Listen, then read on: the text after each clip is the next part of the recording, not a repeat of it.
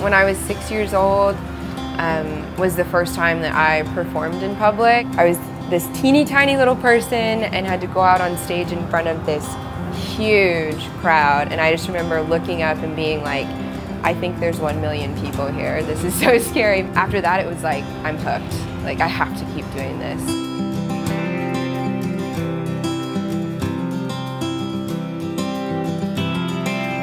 I love to write. Like I was even a journaler when I was a kid. I, that's just something I've always loved to do. It's an outlet of mine. Then when it came to songwriting, that actually became more of an outlet than anything else. My parents always used to joke with me. They knew like what was going on in my life when I would come out and say, "Hey, I wrote a song. Can you listen to it?"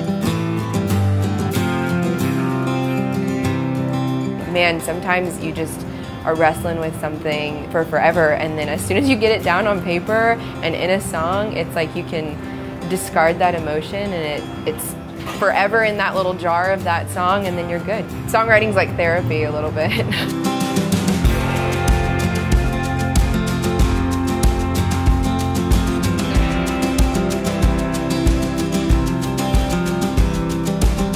We're sitting in one of my favorite spots to play right now. I love 1880. It's just a really good spot to be an artist because they're always open to creativity and thinking outside the box.